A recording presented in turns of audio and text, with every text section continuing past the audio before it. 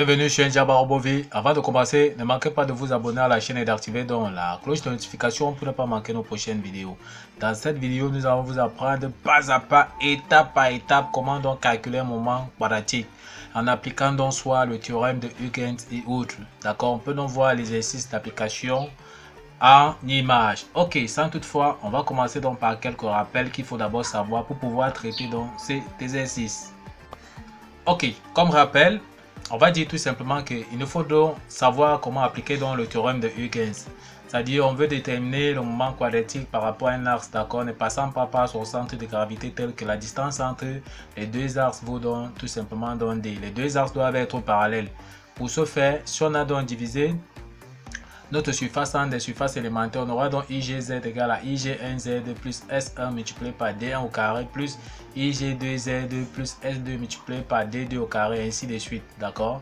Donc, ok, on peut donc voir l'application directe à ce niveau-ci. Donc, si on veut donc IOZ, moment quadratique suivant l'arc de OZ, en appliquant donc le théorème de Huygens, on aura donc IOZ sera égal à IGZ plus S multiplié par D au carré. S c'est tout simplement dans la surface, d'accord D c'est la distance donc, entre les deux axes. Maintenant, on doit savoir calculer le moment quadratique d'un rectangle.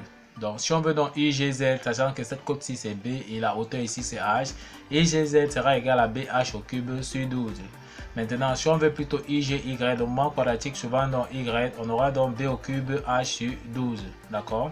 Sachant bien que l'unité du moment quadratique, c'est soit les millimètres puissance 4, mètres puissance 4 et autres. D'accord? Maintenant, il nous faut également savoir comment déterminer donc le moment quadratique d'un rectangle, d'accord? D'un triangle rectangle tel qu'on voit là, d'accord? Donc ici, on a donc un triangle rectangle. Si on veut dans le moment quadratique, ici IGZ2, on aura B tel que cette côte-ci c'est B et ici donc c'est H. On aura donc BH au cube sur 36. Maintenant, si on veut le moment quadratique suivant l'axe des Y, on aura donc IGY sera plutôt cette fois-ci égal à B au cube H sur 36. Donc voici les rappels qu'il faudrait savoir avant de passer à la correction de l'exercice d'application. Ok, donc une fois les rappels terminés, voici donc notre surface dont on veut déterminer notre moment quadratique. D'accord? Premièrement, on voit que notre surface a une forme quelconque. On va donc tout simplement diviser ces surfaces-ci en des surfaces élémentaires, telles qu'on voit là en image. Donc on a donc coupé tout simplement ici, on a donc tracé ici. D'accord Voici donc la première surface élémentaire. En traversant dans les diagonales, ça nous donne donc son centre de gravité. Ensuite, on est venu donc tracer ici tel qu'on voit là. Ça nous a donné dans la deuxième surface élémentaire. En traçant dans la diagonale, les diagonales dans ce rectangle ici, ça nous donne également dans son centre de gravité. Et on reste donc avec la troisième surface élémentaire ici qui n'est autre chose qu'un rectangle ici à ce niveau-ci. D'accord? Maintenant, on veut donc déterminer le moment quadratique donc de cette surface. Comme nous avons dit, ici on a donc trois surfaces élémentaires comme nous venons de voir. D'accord? Ça veut dire tout simplement que pour déterminer ce moment quadratique, on va donc appliquer le théorème de Huygens. Donc on va appliquer tout simplement le théorème de Huygens pour pouvoir déterminer le moment quadratique de cette surface. Pourquoi? Parce qu'on voit que chaque surface élémentaire ici a son centre de gravité. D'accord? Les centres de gravité des différentes solides élémentaires ne sont pas confondus. Donc c'est pour ça qu'on doit utiliser le théorème de Huygens. Ok, donc voilà l'application du théorème de Huygens. On va donc commencer donc par IGZ, c'est-à-dire le moment quadratique donc suivant l'axe des Z tel qu'on voit là en image, d'accord? On veut donc le moment quadratique suivant l'axe des Z. Ok, en appliquant donc le théorème de Huygens pour les différentes surfaces élémentaires, d'accord? Pour la première surface, on aura donc IG1Z plus S1 multiplié par D1 au carré plus IG2Z plus S2 multiplié par D2 au carré plus IG3Z plus S3 multiplié donc par D3 au carré. Comme nous avons dit, S, les S sont des surfaces, d'accord, et les D sont les distances entre les différents axes, d'accord, parallèles.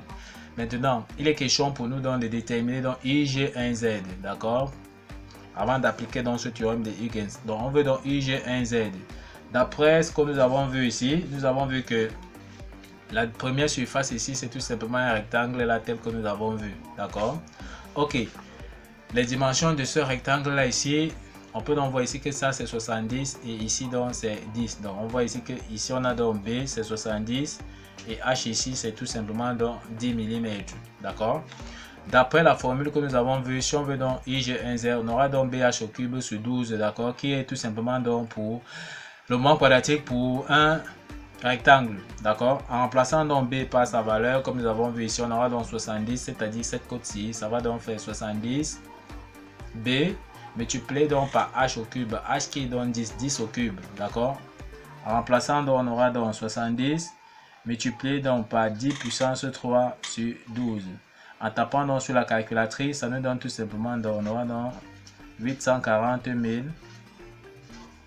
mm puissance 4. Donc voici le moment quadratique IG1Z. De la même façon, on trouve donc IG2Z. IG2Z, on aura donc ce rectangle ici, d'accord La deuxième surface élémentaire ici, telle que B c'est 10 et H cette fois-ci donc c'est 60. Donc il s'agit donc de cette deuxième surface élémentaire ici. En remplaçant donc tout simplement donc par sa valeur, on aura donc B qui est 10 multiplié donc par H comme on a vu qui est 60, d'accord, au cube donc sur 12. En calculant donc tout simplement, ça nous donne donc 180. Donc ça nous donne tout simplement donc 180 000 mm puissance 4. Donc voici la valeur du moment quadratique IG2Z. Pour IG3Z, pour IG3Z, nous avons vu ici que nous avons donc tout simplement donc un triangle rectangle tel qu'on voit là. D'après les rappels que nous avons vus, si on veut donc IGZ, on a qu'appliquer donc la formule d'accord pour le moment quadratique pour un triangle rectangle tel que nous avons vu. On aura donc tout simplement donc IG3 Z égale à BH au cube, cette fois-ci sur 36. Or, comme nous avons vu ici, cette côte-ci, donc B, on veut dans la dimension donc, de B ici, telle que nous avons vu ici, d'accord? Donc, si on veut dans la valeur de B ici, B sera tout simplement donc, égal. Donc, 30, c'est-à-dire cette côte-ci, 30 moins 10, cette partie-ci 10. On aura le reste ici qui vaut donc tout simplement donc 20. Donc, V, B, c'est tout simplement 20, d'accord? Et H, c'est tout simplement 30 plus 30, ça sera donc 60.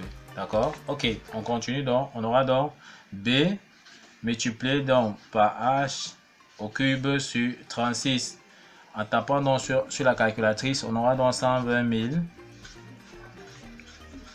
mm puissance 4. Donc voici la valeur de IG3Z.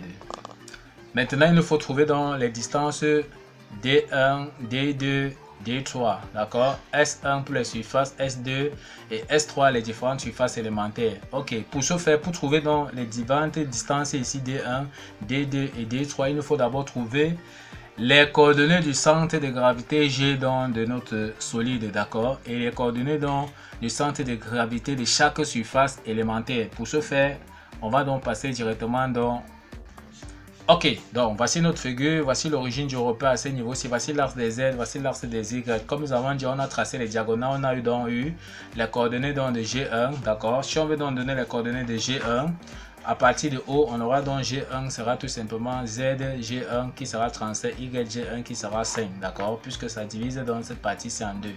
Donc, tous les coordonnées seront données à partir du point O. Si on veut les coordonnées de G2, on a bien vu que voici la deuxième surface élémentaire à ce niveau-ci. D'accord On trace encore les diagonales également ici. Ça coupe ici donc en G2. Donc, à partir du point O, qui est dans l'origine du repère, si on veut donc donner les coordonnées de G2, on aura donc ZG2 sera 25 et YG2 sera 40 mm. Maintenant, pour G3, si on veut donner les coordonnées de G3 ici, ici cette fois-ci, on a tout simplement un triangle. Il faut se rappeler également que si on veut donner donc les coordonnées du centre de gravité d'un triangle, il faut donc connaître cette formule-ci. Donc voici donc l'angle droit ici. Si cette côte-ci c'est B, si on veut donc les coordonnées de G3 qui est le centre de gravité du triangle, ici on va donc faire B sur 3. D'accord? Donc on va faire 20 divisé par 3. On aura donc 6,66. Donc à partir d'ici, cette côte-ci c'est 6,66. Si on veut de coordonnées donc de G3, d'accord, à partir la verticale ici, on a qu'à faire donc H qui sera donc 60 ici divisé donc par 3. On aura donc 20 mm. D'accord De la même façon, donc, à partir donc de l'origine du repère ici, à partir donc de l'origine du repère donc à ce niveau-ci, sachant que nous connaissons déjà cette côte-ci qui vaut dans 6,66, d'accord Et cette côte qui tend d'ici à là, qui, cette côte qui tend d'ici donc jusqu'ici, nous avons vu que c'est 20 mm. En donnant donc les coordonnées donc, par rapport au point, au point O, on aura donc la valeur de tout simplement donc, des coordonnées de G3 qui sera G, Z de G3 sera 36,66 et YG3 sera donc 30 mm. D'accord? Maintenant, pour ce qui est des surfaces, ce sont des rectangles ici. S1 est un rectangle, S2 est un rectangle, d'accord La surface d'un rectangle, c'est tout simplement longueur fois largeur. Donc, en appliquant, on aura donc tout simplement ici les différentes surfaces.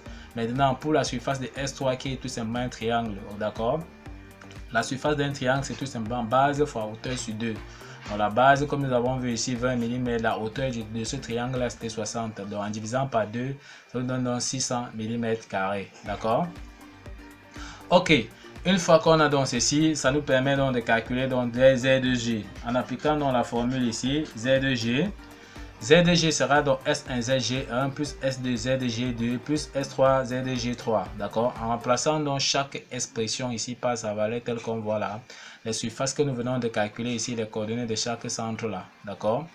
On voit tout simplement qu'on aura donc ZG1 S1 ZG1 plus S2 G2 sur S3 G, Z2 G3 sur S1 plus S2 plus S3 parce que nous avons trois surfaces élémentaires.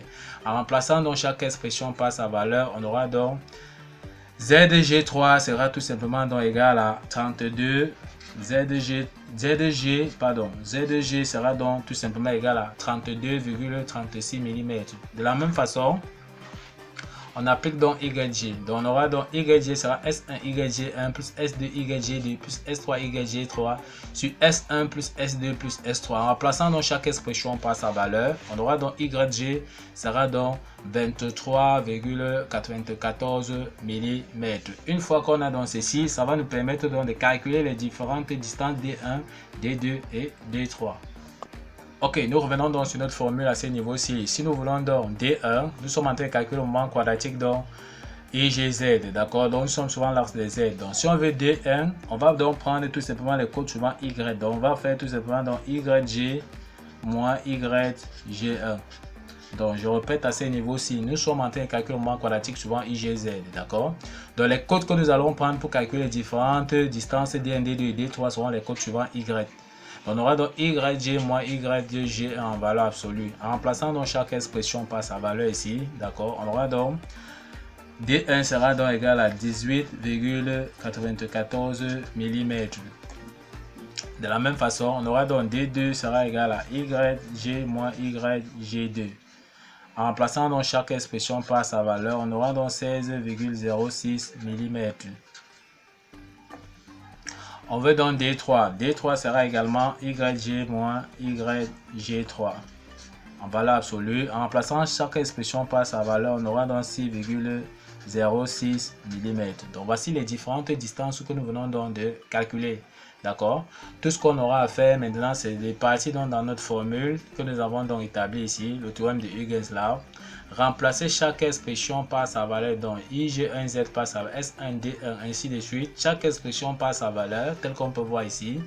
Donc, en plaçant donc chaque expression donc, par sa valeur et en tapant donc sur la calculatrice, d'accord, tel qu'on peut voir là,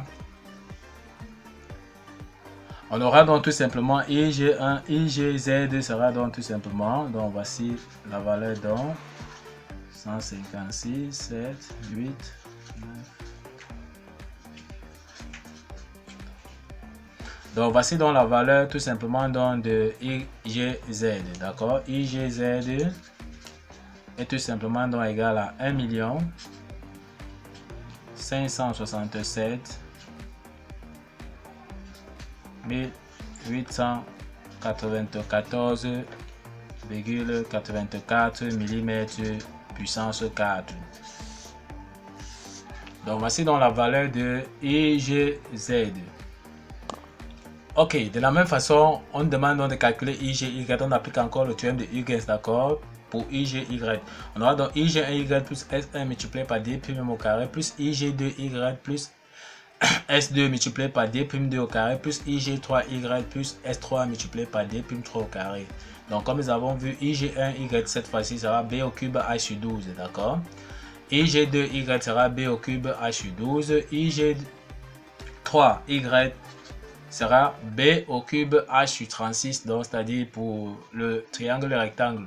On n'a qu'à faire l'application numérique. De la même façon ici, pour trouver dans les différentes distances, comme nous sommes en train de calculer dans suivant Y, cette fois-ci pour trouver D'1, D'2 et D', D'3, tout simplement.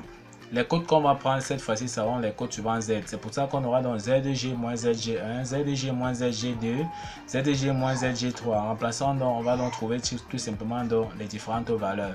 Et après, on va venir tout simplement donc passer à l'application numérique en remplaçant chaque expression par sa valeur.